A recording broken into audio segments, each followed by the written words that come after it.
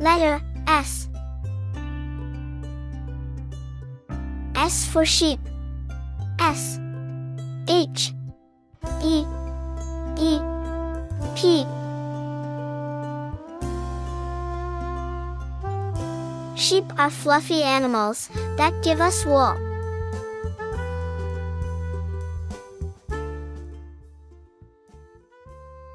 They eat grass and plants.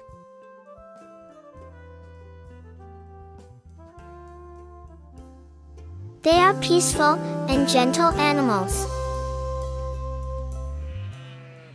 Sheep live in groups called flocks.